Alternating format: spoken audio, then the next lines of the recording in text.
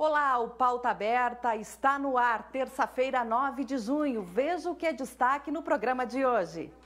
Hoje é o dia da imunização. A data reforça a importância de manter a caderneta de vacinas em dia. Projeto libera auxílio emergencial aos trabalhadores do setor cultural. Decreto regulamenta a política reversa no descarte de medicamentos. Veja também, uso de máscaras agora é obrigatório em todo o país. Pesquisa estuda a eficácia no transplante de plasma no tratamento de pacientes com Covid-19. E ainda, emagrecer depois dos 40 é possível.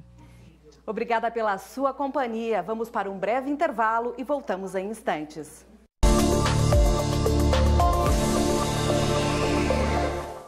As belezas e as histórias de Minas Gerais. Os casarios e as belas igrejas centenárias com ouro em seus altares.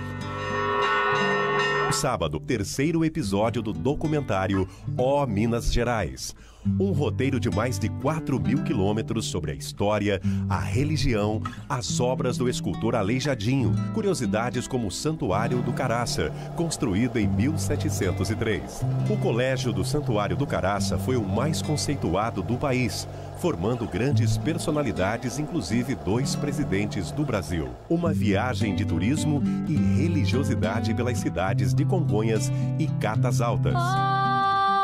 Minas Gerais. Quem te conhece não esquece jamais. Oh, Minas Gerais.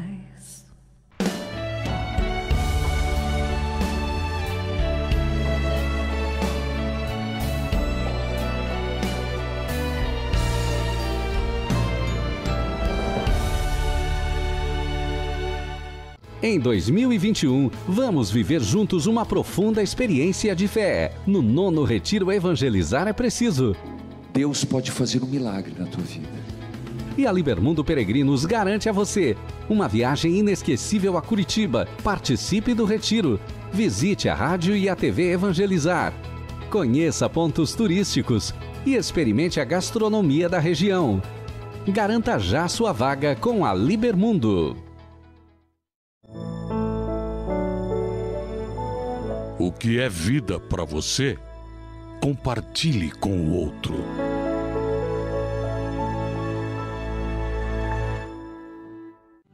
Mãos que evangelizam, mãos que oram, que confortam, mãos que protegem. E neste momento precisamos proteger nossas mãos com cuidados básicos, mas essenciais.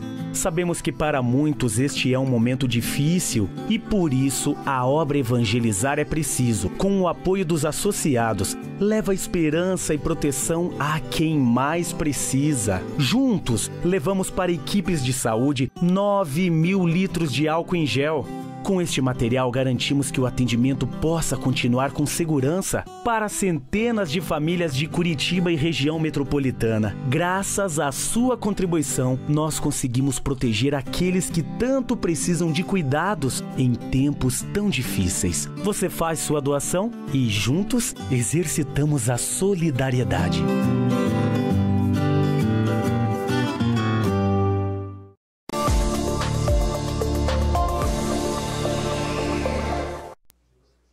Estamos de volta com o programa Pauta Aberta. Muito obrigado pelo seu carinho, obrigado pela sua audiência. E hoje, dia 9 de junho, é comemorado o Dia da Imunização. A data vale aí para reforçar a importância da vacinação para nos proteger contra várias doenças. Acompanhe. Mais do que um gesto de amor, vacinar é uma questão de responsabilidade. Até os três primeiros meses de vida, as crianças não têm o sistema imunológico formado e são facilmente afetadas por vírus e doenças. Por isso, a vacina é indispensável. A gente tem a, a, as vacinas mais concentradas no primeiro ano de vida, tá? E isso justamente acontece porque até os três meses de idade, a única imunidade que as crianças têm é a imunidade que passa pela placenta durante a gestação e através do leite materno. Evitar de sair com as crianças em lugares fechados, o contato com pessoas doentes, assim, às vezes uma simples gripe numa criança muito pequenininha pode fazer doença grave. Sandrine é mãe de dois filhos. A preocupação com as vacinas ganha atenção especial na casa dela. Eu criei o hábito de pelo menos uma vez por mês passar uma geral nas cadernetas de vacinação. Então, pelo menos uma vez por mês eu dou uma olhadinha em tudo, o que, que tem de vacina, o que, que tem de consulta, então é tudo organizadinho. Até 2016, o sarampo havia sido banido das Américas. O fato de algumas doenças estarem erradicadas não significa que a população esteja completamente livre de um novo risco. Por isso, manter o calendário em dia ajuda na prevenção. Sempre que a gente tem medidas de prevenção de saúde, são muito mais benéficas para o para a pessoa, para o indivíduo, como socialmente mesmo, em questão de custo, de saúde e tudo mais. Dados divulgados pelo Ministério da Saúde no segundo semestre de 2017 apontam que a taxa de imunização é a mais baixa dos últimos 12 anos. O baixo índice de vacinação contra a poliomielite, a paralisia infantil, é preocupante. Segundo o Ministério da Saúde, existe o risco de retorno da doença, como está acontecendo agora com o sarampo. A história de Carmen serve de exemplo para o alerta. Ela não foi vacinada quando deveria e acabou contraindo a doença aos cinco meses de vida. Naquela época, o, a vacina não chegava até no interior do Paraná. Entendi. Sabe? Então era nas cidades grandes que tinha uhum. a a vacina, né? Vacinar é prevenir.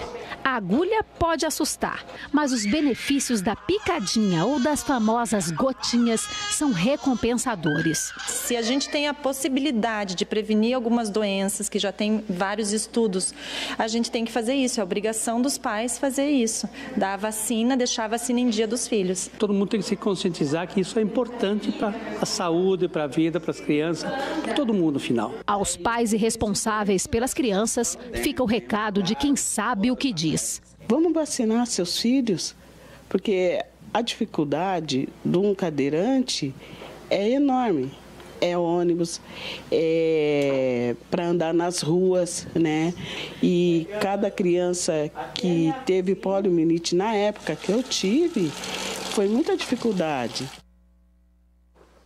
Agora a gente fala de economia. A Associação dos Fabricantes de Veículos divulgou um balanço do mês de maio e apontou uma queda na produção.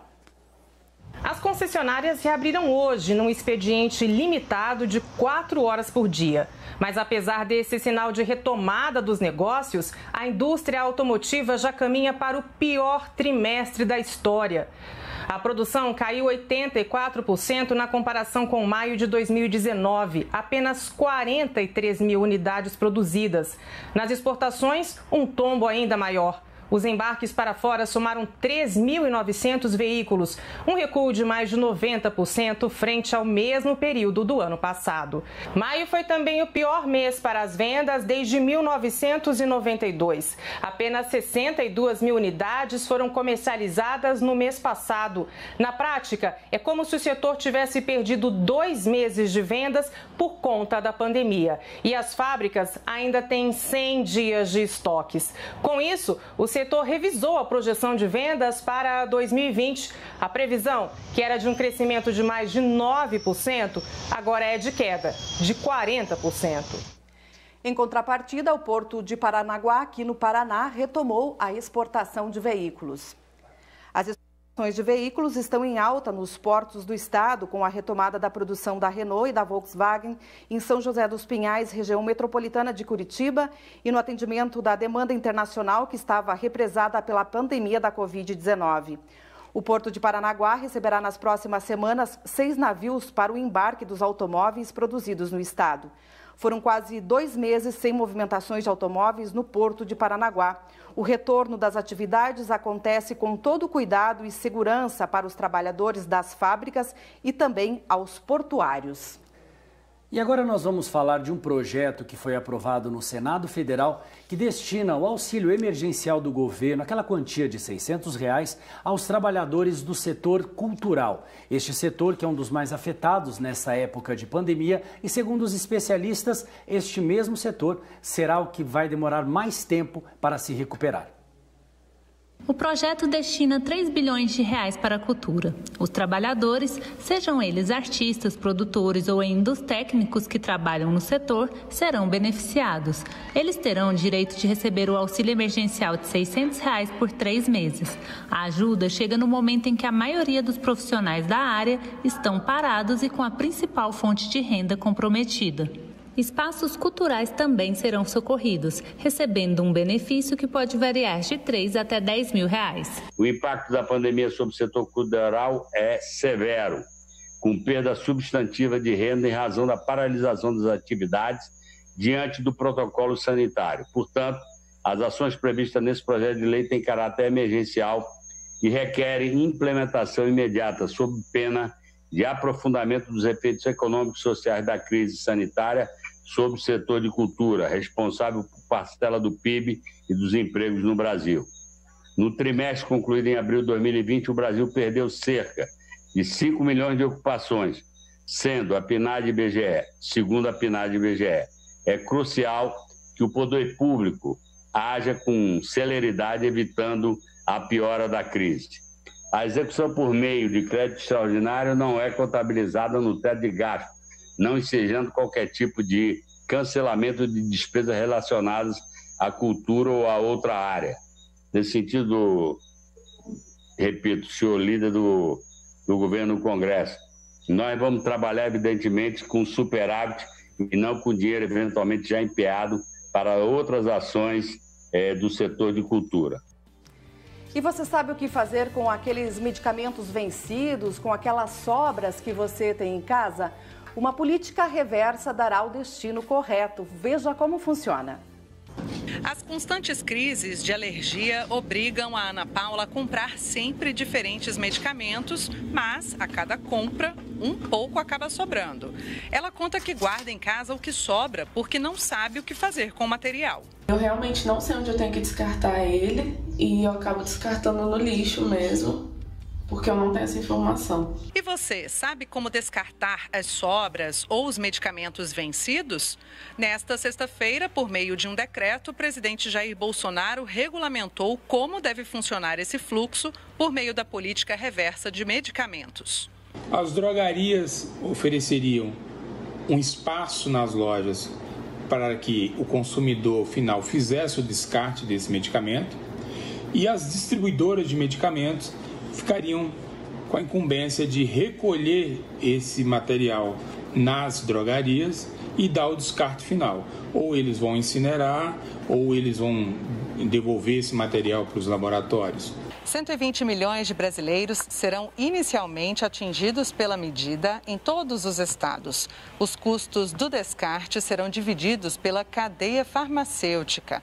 A nova política deve contribuir para o destino dos resíduos sólidos no Brasil. Todo o setor está de acordo, todos se mobilizaram. Eu tenho a impressão que esta é uma conquista sob a ótica de meio ambiente sem precedentes. Quem nunca recebeu um telefonema de um número desconhecido naquele momento indesejado, não é mesmo? E os assuntos são dos mais variados possíveis, desde vendas de pacote de internet a linhas de financiamento de crédito. Mas você sabia que você pode cadastrar o seu número para você não receber mais essas ligações indesejadas? Se não, acompanhe na reportagem. O telefone toca e você pensa que é uma ligação importante, mas não é. Chamadas insistentes de empresas de telemarketing ou de cobrança têm tirado a paciência de muita gente. A Dayana até já se acostumou. São muitas ligações todos os dias e o pior, em horários inconvenientes. Já chegou uma vez que recebi 150 ligações no dia é, de uma empresa de telefonia e internet me cobrando por um serviço que eu nunca tive. Então eles mandam é, acordo, mandam um boleto. O jeito que ela encontrou para evitar o incômodo foi bloquear os números indesejados. Mas quando o assunto é tomar alguma outra providência, não, eu não procurei porque eu vejo assim uma dor de cabeça a mais sem necessidade, né? É, fico, fico naquela expectativa. Se eles colocarem meu nome em alguma restrição financeira, SPC Serasa, aí sim eu vou, vou procurar sim, mas por enquanto não. O número de queixas contra ligações abusivas aumentou 65% desde 2017. Mas o que fazer quando as empresas passam do limite? De acordo com essa advogada especialista em direito do consumidor, a forma de proceder depende do tipo de ligação recebida. Quando as ligações são um telemarketing, existe um cadastro que você pode fazer no próprio site do Procon, né, que é um cadastro de bloqueio. Você coloca teu telefone lá, é bem fácil, você pode acessar pela internet, quem não tiver acesso, pode ir até pessoalmente no Procon e requerer para fazer esse tipo de bloqueio. Você coloca teu RG, teu CPF, o número do teu telefone e pede para não ser mais perturbado por essas ligações de telemarketing. Eles têm até 30 dias para acessar qualquer tipo de ligação. Não cessando, mesmo assim, você pode voltar no PROCON e requerer para que esse cadastro realmente funcione. Aí o próprio PROCON já toma as medidas cabíveis ali para que isso cesse. Né? A outra situação são as cobranças indevidas. Né? Então, assim, todas as ligações, SMS, mensagem, hoje em dia até o WhatsApp que as empresas mandam para cobrar você por uma dívida que exista, que não exista ou que seja de outra pessoa, de uma terceira pessoa, são indevidas sim. No caso da cobrança, somente é permitida uma notificação dos órgãos responsáveis. Ligações e mensagens são ilegais. O correto, no máximo, seriam aquelas cartinhas de notificação de dívida que chegam pelo correio, né? Que são uma prévia para uma posterior negativação ou algo nesse sentido. Agora, qualquer tipo de ligação, de mensagem, de e-mail, de WhatsApp que de certa maneira repreenda a pessoa, que por exemplo alguém possa ver no meu celular que seja constrangedora, já é ilegal, já passa a ser abusivo, já passa a gerar um dano para o consumidor. Mesmo sendo ilegal, as empresas continuam com essa prática porque poucas pessoas procuram seus direitos. E ao contrário do que a Dayana pensa, o processo é muito simples. Para a empresa é muito mais fácil ela continuar cobrando porque ela vai ganhar muito mais com isso do que restringir as ligações. Ah, ops, não vou mais fazer. É muito mais é, lucroso para ela, né? muito mais lucrativo para ela continuar com essas cobranças porque os consumidores realmente pagam para não serem perturbados. E a gente continua falando dos seus direitos, mas agora de uma lei que virou lei mesmo. Agora, o uso de máscaras em locais públicos e privados é obrigatório e quem desrespeitar pode ser punido por isso. O projeto aprovado obriga o uso de máscaras de proteção em locais públicos e privados enquanto durar a pandemia da Covid-19. Quem descumprir a obrigação vai ser multado. Os valores das multas serão definidos pelos estados e municípios. O poder público deve fornecer as máscaras às populações vulneráveis economicamente. Em nenhuma hipótese, essas pessoas serão multadas. Um estudo divulgado amplamente desde domingo à, é, à noite e depois repercussões durante toda a semana na revista The Lancet traz a informação que eu acho que é a base desse processo, desse projeto, de que o índice de contaminação com o uso de máscaras reduz-se de, de 17% para 3%, independente do tipo de máscara. Esse estudo é, o, é considerado o mais completo divulgado desde o início da pandemia em termos de, de medidas profiláticas para a doença Covid-19. E é resultado do trabalho de pesquisadores de 16 países. Jovens brasileiros são promessas quando o assunto é ciências. Nós vamos conhecer agora um programa que visa justamente isso, estimular a participação destes jovens em projetos científicos. Vamos ver? Música estimular os jovens do ensino básico a se envolverem desde cedo com projetos científicos é a missão do Ciência na Escola, criado pelo MCTIC em 2019. O programa envolve todas as regiões do país em quatro grandes ações, divididas com foco em projetos para entidades de ensino, para alunos e para professores. É realmente pensar a ciência que é se faz com método. A questão do método científico é uma base para o programa e, sobretudo, o conhecido conceito mão na massa, que realmente atua por investigação científica, que trabalha na prática com as crianças, com os jovens é, experimentando o método científico. Uma das ações do Ciência na Escola é a realização da Olimpíada Nacional de Ciências, que se difere das demais Olimpíadas escolares por ser transversal e abordar desde química e matemática até ensinamentos de história.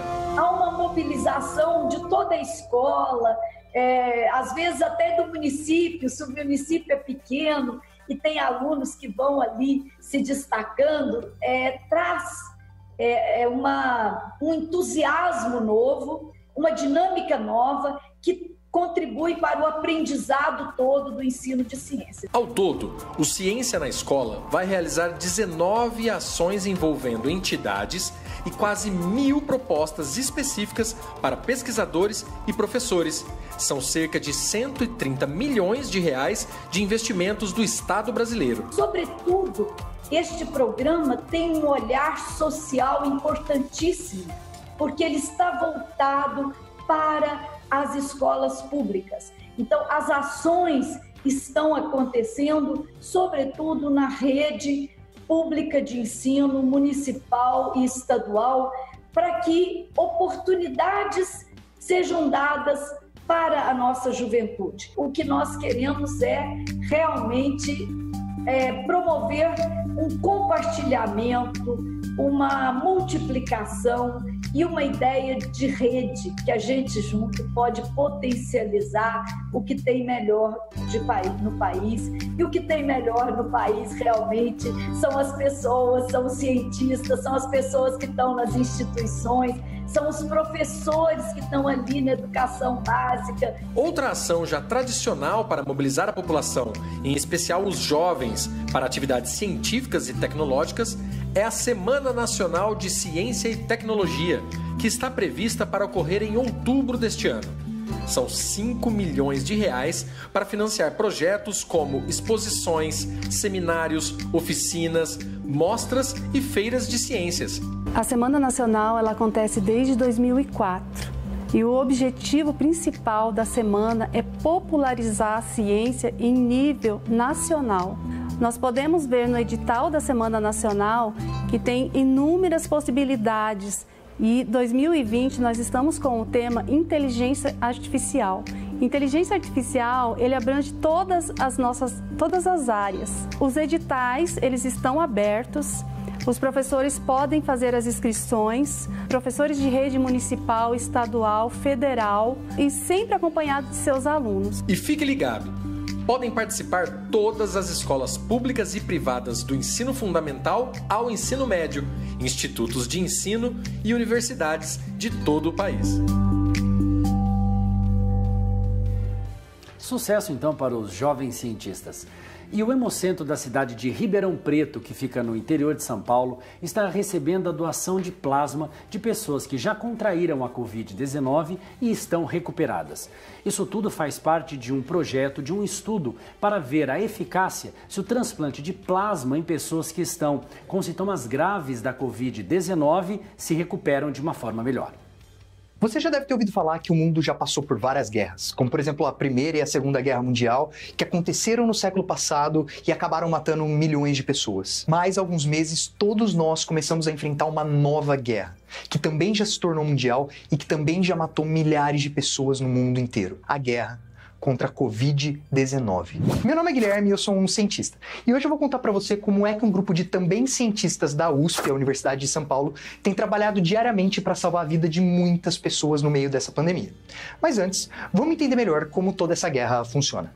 Basicamente, em uma guerra, um país envia um exército para atacar um outro país inimigo, certo? E aí então o país que está sendo atacado convoca todo o seu exército para se defender. Só que nesse caso o exército inimigo é o novo coronavírus e o país sendo atacado é o nosso corpo. E o interessante é que o nosso corpo também conta com um grande exército de defesa contra invasores, formado por soldados chamados de anticorpos. Só que para que esses anticorpos sejam eficientes, eles precisam primeiro reconhecer o inimigo. E é aqui que mora um dos principais problemas nessa guerra. O novo coronavírus, exatamente por ser novo para o nosso corpo, não é reconhecido tão rapidamente pelo nosso sistema imune. E aí demora um tempo para que as nossas células produzam anticorpos específicos que consigam reconhecer o vírus rapidamente e destruí-lo. Bom, quando conseguimos produzir esses anticorpos contra o vírus antes dele se espalhar muito, o vírus perde a guerra. A pessoa é curada e melhor ainda. Esses novos anticorpos que reconhecem o vírus ficam lá no nosso sangue, preparados para combater qualquer novo ataque. Só que, infelizmente, pode ser que não dê tempo de produzir o bastante desse exército antes que o vírus se espalhe pelo corpo. E aí, quem vence a guerra é a Covid, levando as pessoas a morte. Mas a boa notícia é que existe uma arma que talvez seja mais poderosa para vencer qualquer inimigo em uma guerra a ciência. Um grupo de cientistas da USP, em parceria com outros pesquisadores, está realizando um estudo sobre um novo tratamento para a Covid-19. A brilhante ideia dos cientistas é retirar os anticorpos das pessoas que já estão curadas da Covid-19 e colocar esses soldados no corpo de pessoas que ainda estão com a doença. Seria mais ou menos o que acontece numa guerra tradicional, quando um país que está sendo atacado recebe o apoio do exército de um outro país aliado, que já batalhou com o inimigo anteriormente e então conhece esse inimigo. No caso, esses anticorpos que já reconhecem o vírus poderão ajudar as pessoas que ainda estão doentes a vencer a Covid-19 e a serem curadas. Mas você também pode ajudá-los nesse combate. Caso você já tenha sido infectado pelo novo coronavírus e esteja curado, você pode se candidatar para participar do estudo e doar o seu sangue com o seu exército de anticorpos para as outras pessoas. Agora, caso você não tenha sido infectado, você também pode ajudar muito. É só você ficar na sua casa. Porque, mesmo com as armas incríveis da ciência contra o novo coronavírus, a melhor forma de vencer uma guerra ainda é evitar que ela aconteça. Emagrecer nem sempre é uma tarefa fácil e depois dos 40 anos a missão parece impossível, mas isso tem uma explicação. Vamos ver? A idade chega e o corpo sente. A Josiane observou que o peso aumentou depois dos 40 anos cada vez, parece cada ano mais difícil. E a gente vai ganhando uns quilinhos, você já vai ficando mais até mais difícil para fazer as coisas. O que a Josiane sentiu tem explicação. De acordo com essa médica, as mudanças hormonais interferem no metabolismo. A partir dos 30 anos, a gente começa a ter uma diminuição na nossa quantidade de hormônios. A gente consegue observar isso. Fez 30, já começa a vir aquela dificuldade na hora do emagrecimento. Com 40, 40 e poucos anos é o momento em que a mulher começa a entrar na menopausa, ou seja, uma parada mais importante ainda dos hormônios. Eles são extremamente importantes para a saúde da nossa pele, do cabelo, para a vitalidade, para a libido, para o emagrecimento, para o metabolismo do corpo como um todo. O problema é que o excesso de peso traz muitos riscos para a saúde. As doenças crônicas, no geral, elas acontecem 80 a 90% pelos nossos hábitos de vida. Então, aquilo que a gente faz determina o que a gente vai ter no futuro. A genética ela tem um papel, mas é um papel cada vez menor que vem se descobrindo com as pesquisas. Então, cuidar dessa parte também tem um reflexo bem importante na questão da saúde, evitando todas essas doenças crônicas. E o que preocupa é que mais da metade da população brasileira está acima do peso. Uma alimentação equilibrada é a chave para baixar esses índices. Sempre tenha tá, uma fonte de fibra. Então ela pode ser fruta, pode ser um psyllium, pode ser uma aveia, tá? Tenha também uma fonte proteica, ovos, carnes, queijo, leite, iogurte, derivados. E também carboidrato em quantidade adequada. Nem todo carboidrato é mal. Eu digo que ele é essencial para o funcionamento do sistema imunológico e também é responsável por 70% do suprimento é, de energia cerebral. Na questão de hidratação, tá? A gente pode contemplar todos: águas, chá, café, suco. Conselhos que a Josiane seguiu à risca. Aí você já começa a, mudar a tua alimentação, tu já vê que você já começa a, a, a ter mais ritmo para as coisas. Mas só uma boa alimentação não é suficiente. Praticar uma atividade física é essencial para manter a saúde em dia. E não precisa ser algo complicado, não. O importante é não ficar parado. O ideal é que você procure um profissional né, habilitado de, de educação física para orientar você. Uh, mas o mais importante é que você tenha prazer. O tempo que você tiver, o esporte que você quiser, se mexa tá? Para que isso aumente o teu gasto energético, para que isso faça uma liberação hormonal e ajude você nesse processo de emagrecimento. E o programa Pauta Aberta está chegando ao fim e nós vamos deixar aqui uma mensagem para aquele dia que você está triste. Nós vamos conhecer aí a história do Avete. O Avete é um menino de 6 anos e ele é cego, mas isso não impediu dele aprender a tocar piano e, detalhe, cantar uma música do grupo britânico Queen. A você o nosso muito obrigado e até amanhã. Lembrando que você pode rever este programa e as nossas reportagens no canal do YouTube da TV Evangelizar. Obrigada pela sua companhia. Nós te esperamos amanhã. Tchau.